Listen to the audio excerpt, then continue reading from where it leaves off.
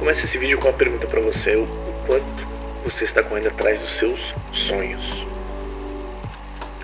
Bom, eu já tô nessa jornada há muito tempo e falar sobre isso pode ser um pouco doloroso às vezes, não vou mentir para vocês.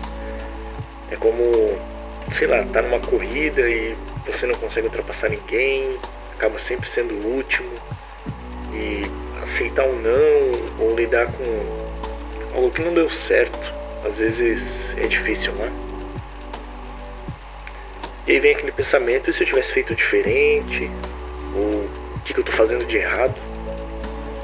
Bom, eu costumava enxergar essas questões com uma perspectiva bem negativa. Talvez por conta da depressão que eu tinha, que eu não sabia, ou sei lá, algum outro problema. Bom, eu não sei. Mas o que eu posso dizer para vocês é que o, o Red de hoje não é o mesmo de ontem e certamente não é o mesmo do ano passado. Então o que eu quero dizer para você que está aí assistindo o vídeo comigo, tenta, tenta. É o que a gente mais pode fazer, é tentar. O mais valioso de toda essa jornada, o processo, é o tentar. Muitas vezes a gente ignora o, o, o caminho, né? A gente ignora tudo a parte do, do, processo, a gente foca muito no chegar lá, né? Alcançar o sonho. Quando na verdade é no caminho que o aprendizado acontece. É, eu não sei, né? Vocês conseguem entender o que eu estou dizendo?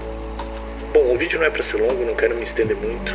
Esse tipo de formato de vídeo é mais para bater um papo e me expressar um pouco após cada live, né? Contar um pouquinho do bastidor aí para vocês. Mas eu quero deixar uma mensagem clara, muito clara. Continua tentando, cara. Sério, continua tentando. Assim como eu, eu tô tentando. Já são, sei lá, mais de 10 anos tentando. E não me importa se for mais 20 ou 30, mas pelo menos eu vou poder dizer que eu tentei. Eu sou o Red.